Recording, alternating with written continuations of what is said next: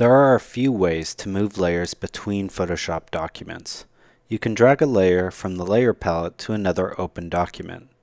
You can click and drag the layer in the artboard to another open document.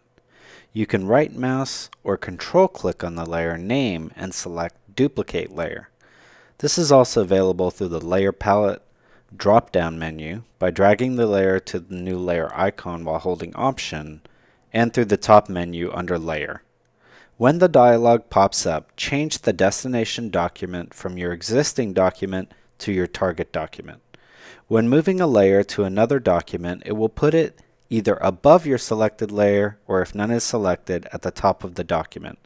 This also applies to clipped layers.